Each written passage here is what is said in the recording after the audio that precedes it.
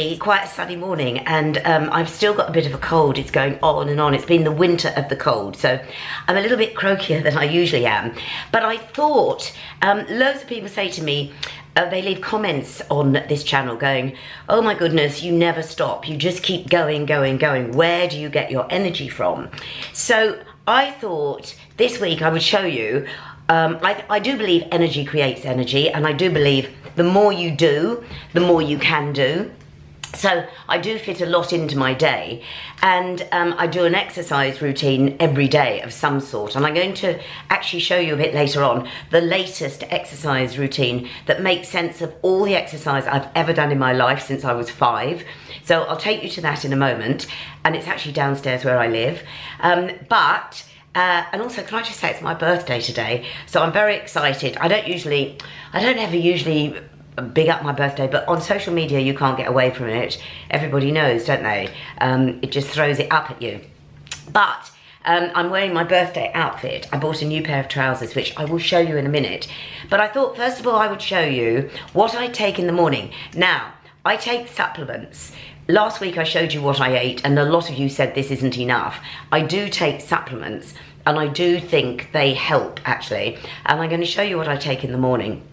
And I'm not a medic, I need to say that. So this isn't, these aren't medically proven to work, but they work for me. So let me show you what I take every single morning um, to sort of get me pepped up. First of all, and I've spoken about this before, Barbara Cartland many years ago, when I interviewed her 30 years ago, swore by an enzyme called CoQ10, which I'm led to believe uh, releases energy from your the cells in your body and it is depleted as you get older. So I've always taken CoQ10 for about 30 years and now there is a purer form, which is called ubiquinol. It's quite expensive. In fact, it's very expensive. But um, I take one of those a day. So that's ubiquinol, ubiquinol and that's 100 uh, milligrams of ubiquinol. The second thing I take is for my joints because as I get older, I feel that I need uh, sometimes my wrists actually get stiff. The rest of me seems fine, but I take a green lip mussel uh, supplement which uh, also has vitamin C and I think to make it work it probably has to have vitamin C in. This is the one, it's Seatone. None of this is sponsored by the way, nothing on this video is sponsored. But um, this is the one I love, it's Potter's Seatone. I take one of those a day. I actually give one of these to Matilda every week as well so that um, her joints will keep working. And finally, um, somebody on the comments last week said, Jo, you need to take collagen. I do, and I have been for some time. I take Imedeen, um, and I've been taking this for a long time. They come in sachets, and you're meant to take two in the morning and two at night. Well, I find that's a bit excessive. It's also extremely expensive to do that, so I only take two in the morning. Um, but I've been taking them for years, so I reckon it's probably building up. The good thing about Imedeen is Boots do three for two. Again, not sponsored. So that's what I take. Those are the supplements I take in the morning. If I'm feeling a little bit fluey or coldy, I will up the vitamin C, but otherwise that is it. Now, would you like to see my birthday suit. Would you like to see my birthday trousers? So I bought these today um, to celebrate my birthday and I love them. I'll show you the whole outfit of the day.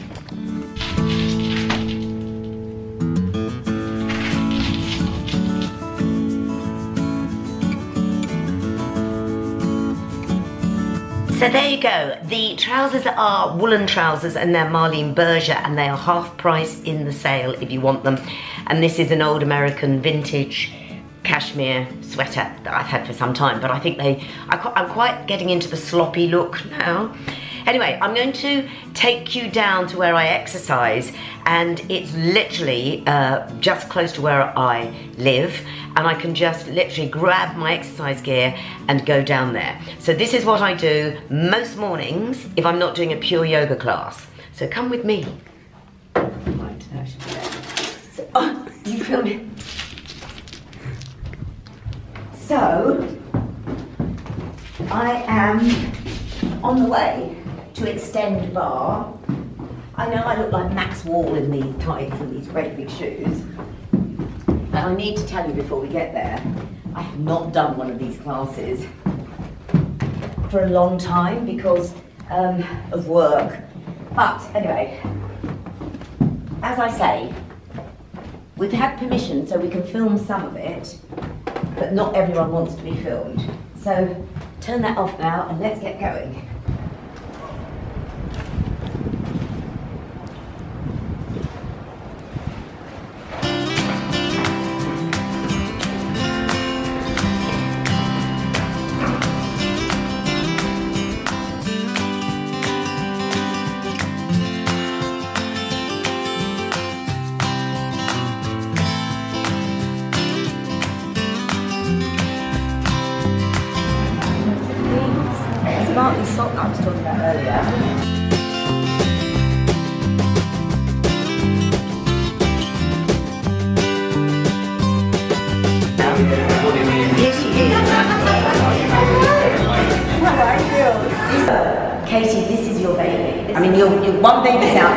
This is your baby. Is- This is my middle child. Every, if you, like me, and lots of girls and lots of boys now, have grown up with ballet, there is something, the moment you go into a studio, there's a bar, you go, oh yes.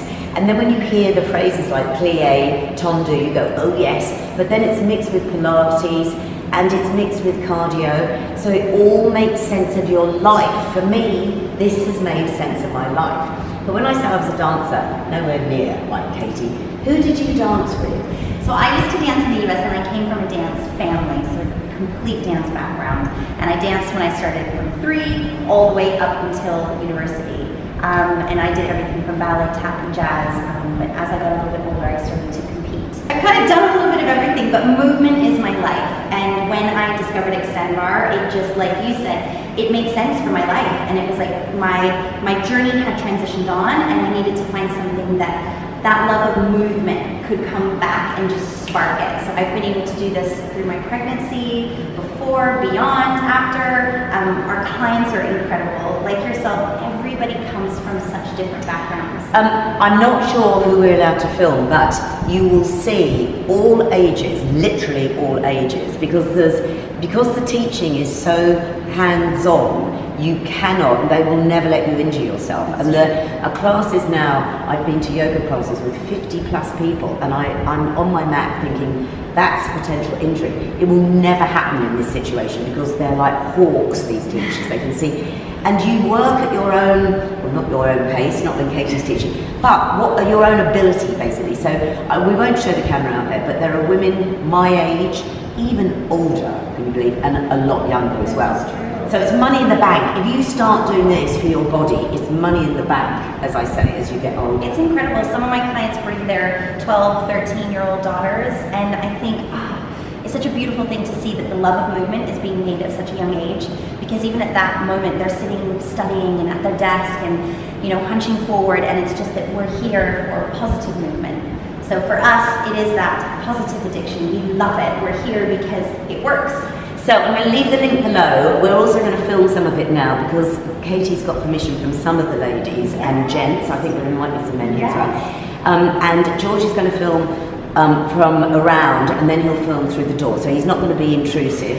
And also, you start, it's 55 minutes It class, is, isn't it? yes. But there are all different classes here. So, I mean, I'll put the link below, but there are classes that are shorter than that. They start very early in the morning. And although this is in Marylebone, um, people come from a very wide catchment area because this is the only one, literally, in this area in Westminster. So, thank you. I'll let you We're get on. have some Bring them in. Thanks, Jo. Yeah.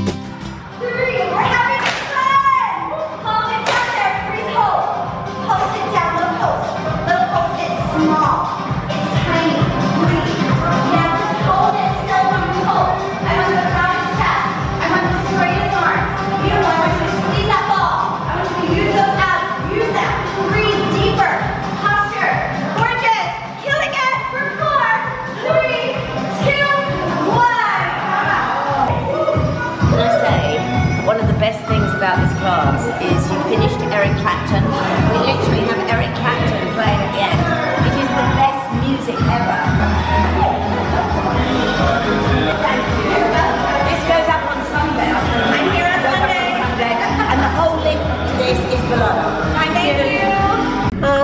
good morning. Uh, there's a storm apparently on the way.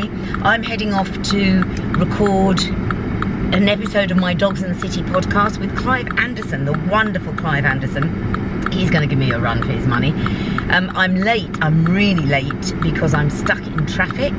Uh, Matilda is here. Tild? Tild? Tilda? Well, she's obviously half asleep. Um, they could, you could just see the top of her head. I need to picture this. She needs a camera of my own, and then I can edit the two. Um, yes, I am late because I'm stuck in traffic, and I I'm going to Hackney to Clissold Park in Hackney, which I oh, here we go. I always think won't take me long. But as you know, if you watch these vlogs long enough, 20 yards. Turn right onto Park Crescent. uh, I'm not good east because it's the one part of London I've never lived. Anyway, Clissold Park, one of the, I think one of the original dog-friendly parks in London, to be honest. I don't even know what breed of dog he has. This is so bad.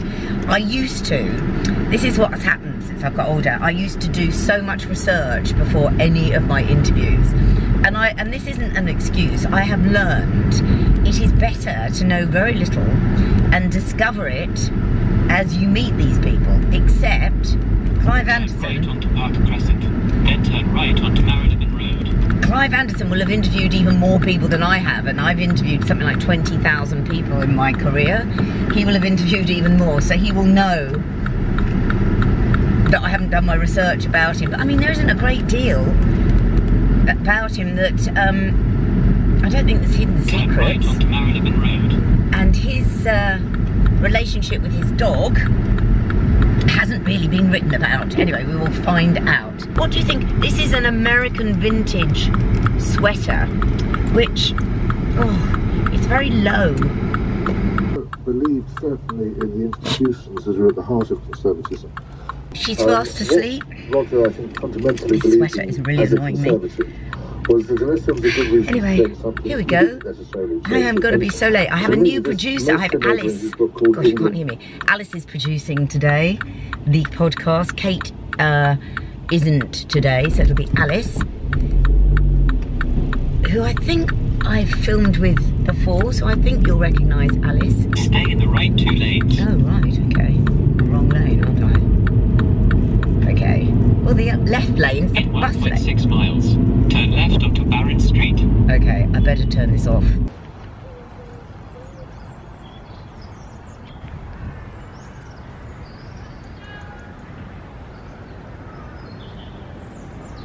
I've left Matilda in the car because she's an age now where she can't actually keep up with these uh, contributors and their dogs. And I think I'm here to meet Clive Anderson and his dog. And it seems that he. Oh, look at these two. Oh, one's decided to go the other way. Um, it is. Um, it's apparent that. Uh, he, he walks his dogs every morning, so they're probably quite young and energetic, and Matilda just can't keep up. Um, I'm meeting Alice, as I said in the car. She uh, is a podcast producer, not my usual producer for the podcast, although I've worked with Alice a lot um, because it's usually Kate. But look, this is, we plan to meet here. I'm just hoping this is the right place. This is the old Clissold Park um, house, mansion.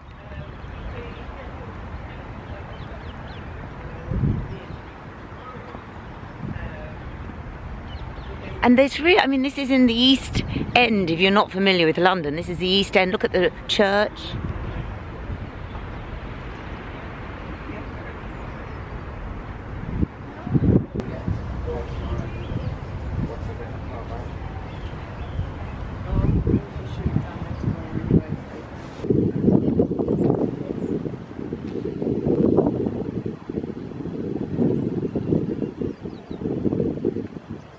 There are deer.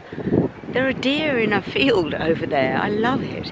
I love, I love being in London when you can get to see animals um, enjoying themselves amongst all this urbania. I mean, we're surrounded by tower blocks.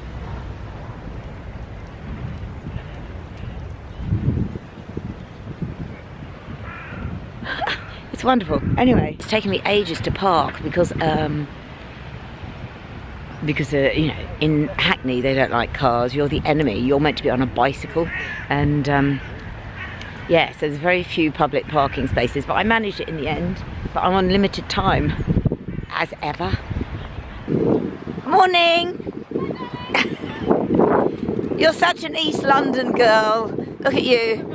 I'm on a I'm on a parked meter. Here is Alice. You all know Alice. You know Alice because Alice did actually the first ever podcast we ever did Yeah, with with Julian. Julian Clary. I ate, I ate garlic, sorry.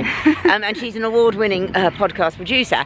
So um, we've only got her on loan for today. And Clive Anderson, I'm a bit worried. Because, Why? well, he's so quick. Do you know what I mean? He's really sharp. Very bright. Yes. So um, let's wish us luck. I'll turn this off so we can get sorted because we're here early, so we can sort. Well, we can't set up. There's nothing to set up. We just hit the ground running, don't we? Really? Yeah, do a little intro. Yeah. Is it your? Oh look, you've already covered your sal- saddle. Well, it's because it was wet because it's so broken. It was like sitting on a wet sponge. So I Did you drive? Did you drive? Did you ride with that? Yeah.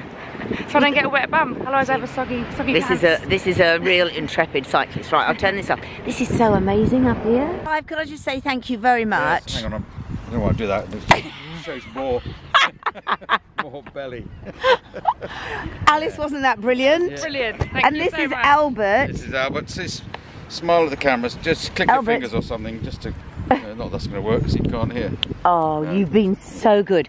This is one of the best. So I urge you to go to BBC Sounds. We're going to post it, I think, next week. It'll go up next Thursday. So make sure you follow it. Thank you. That is it from me this week. So I'm trying to keep out of the sunshine. It's gorgeous, actually.